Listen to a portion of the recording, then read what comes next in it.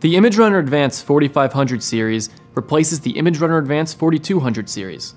Designed for small to mid-sized departments within large organizations, this series consists of four compact black and white models, printing at speeds of up to 51, 45, 35, and 25 pages per minute. In this video, I'll be showing you some key design enhancements incorporated into these models. New exterior colors have been selected based on review of customer preferences and modern office trends. The fresh color scheme of elegant damson black and cool titanium white was designed to integrate seamlessly into today's office environments, where trends include brighter spaces with high contrast color combinations.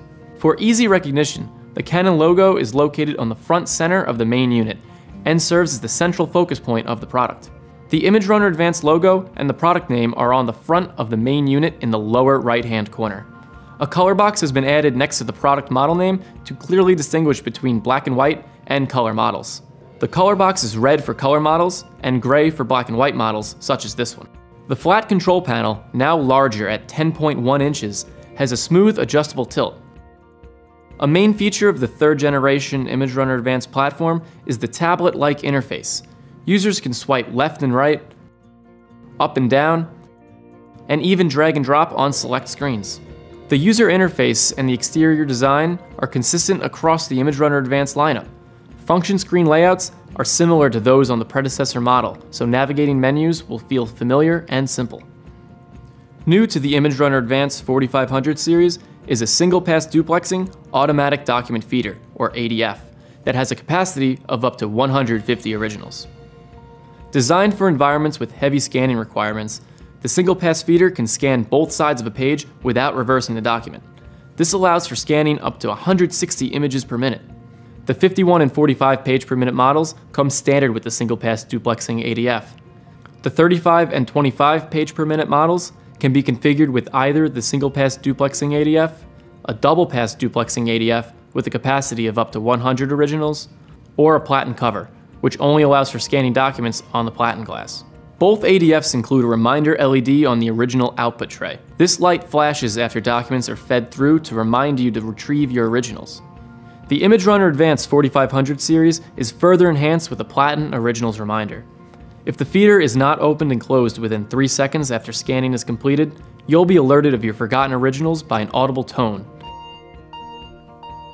and a warning message that appears on the UI status bar. The volume of this tone is adjustable by pressing the volume button on the side of the control panel.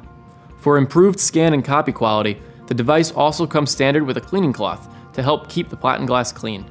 The ImageRunner Advanced 4500 series comes standard with three paper sources and a paper capacity of up to 1,180 sheets. The addition of the optional high capacity cassette and paper deck adds up to 5,150 sheets for a maximum capacity of 6,330 sheets.